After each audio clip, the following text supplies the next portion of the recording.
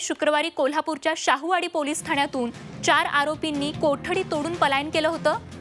तर या चार पैकी दोन आरोपींना आज घुणकी गावाजवळ पकडण्यात पोलिसांना यश आलंय. हातकणंगले तालुक्यातील घुणकी गावाजवळ पोलिसांनी सापळा रचून या दोन आरोपींना पकडलंय. तर खबऱ्यानं दिलेल्या माहितीनुसार हे सर्व आरोपी गावात येताच पोलिसांनी त्यांना अटक केली आहे. हे आरोपी तांदूळवाडी गावाजवळच्या आडवाटेनं निघाले होते आणि त्याच वेळी पोलिसांनी त्यांना अटक केली आहे. दरम्यान वडगाव पोलीस आरोपींना घेऊन कोल्हापूरच्या दिशेनं रवाना झाले. तर प्रताप नाईक आमचे प्रतिनिधी आपल्याला अधिक माहिती देत आहेत. प्रताप चारपैकी दोन आरोपी पोलिसांच्या ताब्यात असल्याची माहिती मिळते. काय अधिक तपशील? नक्कीच चावडी पोलीस स्टेशनच्या लॉकर मधून या चार आरोपींनी पहाटे लॉकरचं गज काप वाकून त्या ठिकाणी पलायन केलं होतं. त्यामुळे पोलिसांच्या समोर मोठा प्रश्नचिन्ह निर्माण झालेला होता.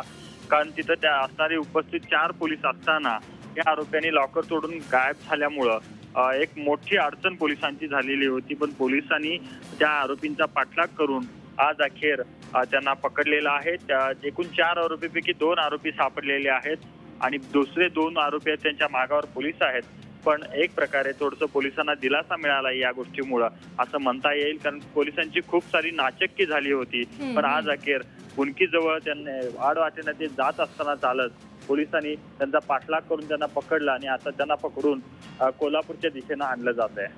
नक्कीच धन्यवाद प्रताप. या माहितीसाठी तर चारपैकी दोन आरोपींना पकडण्यात पोलिसांना यश आलेलं आहे.